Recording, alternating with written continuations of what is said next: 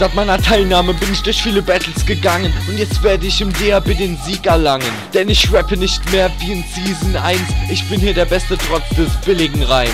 Denn flowmäßig zerstückel ich hier jeden Bastard. Wer ist Certification nach dieser lispelnde Spaster? Mit vier Fans auf Facebook macht der Hund ein EP.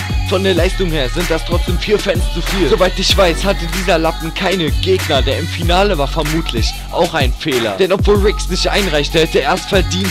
ZS ist bloß eine schlechte Genix-Kopie. Bringt mir rote Sonne oder breiter Garten, am besten beide und sie werden zu Brei geschlagen. Zum Abschluss will ich sagen, dass ich mir das ganze Geld hole. Mir gehört nicht nur das Geld, sondern auch die Krone.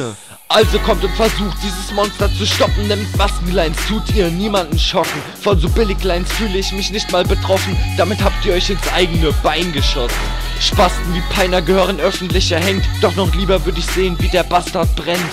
Extrovisiert, dieser hässliche Homo, ein McFitry-Album, danke für die wichtige Info. Jedoch will ich dieses Scheiß-Album wirklich nicht, die Runde dislike ich trotzdem, scheiße in jeder Hinsicht. Kein Spaß, der Extro hat den ekelhaftesten Flow überhaupt. Echt ein Wunder, dass er sich da noch das Rappen zutraut. Bei einer Runde von Jerry wäre ich direkt geflogen. Doch zum Glück war er beim Texten, wie es aussieht, auf Drogen. 16. Finale und ich musste gegen Kite erst der Gegner und für mich war es direkt vorbei. Doch seit diesem Battle habe ich gegen niemand mehr verloren, denn zum Rappen gehören schließlich mehrere Faktoren. Ich habe textlich und mit allen Mitteln jeden besiegt und es ist klar, dass auch hier jeder Gegner fliegt. Jetzt dissen mich die Opfer wegen meinen VBT-Runden. VR1 geflogen, doch ich lasse sie trotzdem roh es ist wichtig, dass sie zu sehen sind. Wisst ihr wieso? Sie spiegeln meine Entwicklung jetzt auf einem anderen Niveau.